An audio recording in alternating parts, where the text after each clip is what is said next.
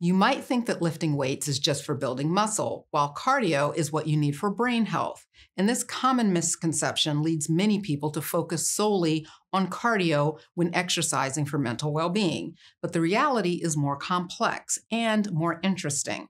Today, we'll see how different types of exercise affect your brain and mental health in unique ways. I'm Dr. Tracey Marks, a psychiatrist, and I make mental health education videos to strengthen your mind, fortify your brain, and build resilience. Our last video covered how exercise generally changes your brain. Today, we're looking at the specific benefits of different types of movement. Let's start with cardiovascular exercise.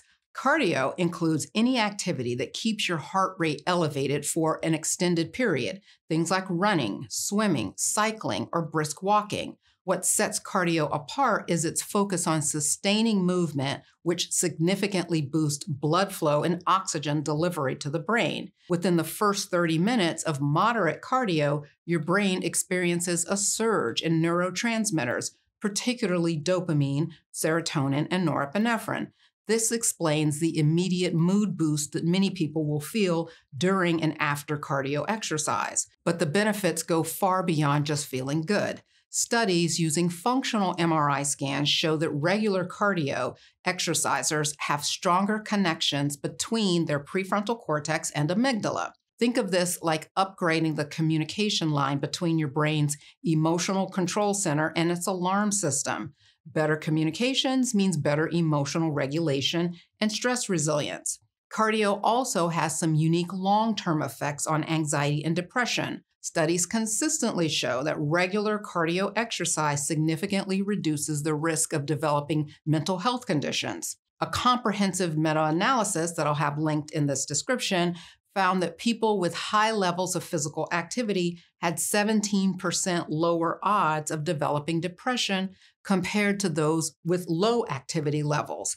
And it's not just depression. Regular exercise shows similar protective effects against anxiety disorders, with some studies suggesting the benefits may be even greater for anxiety than for depression. The optimal dose, if you will, for mental health benefits is 150 to 300 minutes of moderate intensity aerobic activity per week, or 75 to 150 minutes of vigorous activity. Benefits start to plateau after this point of 300 minutes, and more than 300 minutes of vigorous exercise can actually increase stress and anxiety. So that's cardio exercise.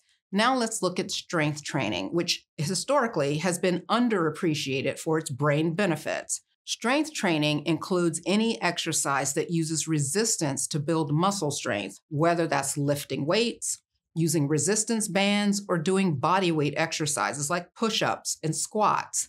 Unlike cardio, which focuses on endurance, strength training is about short bursts of intense effort. What makes strength training unique is its impact on certain growth hormones in your brain, particularly IGF 1, which stands for insulin like growth factor 1. While cardio primarily boosts brain derived neurotrophic factor, or BDNF, strength training triggers a cascade of growth factors and testosterone that support brain cell survival and enhance your brain's ability to form new connections called synaptic plasticity. It can also help regulate cortisol levels, potentially reducing the negative effects of stress on the brain. Here's another interesting point. Strength training appears to be especially effective at reducing inflammation in the brain. Research in the Journal of Applied Physiology demonstrated that regular resistance exercise significantly decreases key inflammatory markers like C reactive protein and TNF alpha, this reduction in inflammation may help protect against depression, anxiety, and cognitive decline. As you probably know from previous videos where I've talked about this, chronic inflammation has been linked to these conditions. Strength training shows promising benefits for executive function, which is your ability to plan, focus, and switch between tasks. A 2020 systematic review in the British Journal of Sports Medicine found that resistance exercise training improved multiple aspects of cognitive function in older adults with strong effects on executive function and memory. So, which type of exercise is better for your brain? Let's look at three different situations. For immediate mood enhancement, Cardiovascular provides a faster mood boost due to rapid neurotransmitter changes. Effects typically last two to three hours after exercise, and intensity matters. Moderate to vigorous activity shows the strongest effects. For long term emotional resilience, both types are beneficial but work differently. Cardio excels at anxiety reduction and stress management. Strength training shows superior effects on self esteem and confidence. Combined training provides the most robust protection against depression. And then for cognitive function, cardio is better for memory and learning speed. Strength training has an edge for executive function and attention. Both types help prevent age related cognitive decline. The combination appears to be the most effective for overall brain health. Although both forms of exercise offer unique benefits, combining cardio and strength training may provide the most comprehensive brain health benefits. So here's how you can combine both types of exercise for optimal brain health. Of course, you should always consult your healthcare provider before starting a new exercise regimen if you have a medical condition that could limit your exercise tolerance. Here's a sample six week workout plan if you're just starting out. In week one to two, start with 10 to 15 minutes of walking three times a week. Add basic body weight exercises like wall push ups and chair squats. Focus on proper form and breathing. Then, weeks three to four, increase walking to 20 to 30 minutes. Add resistance band exercises.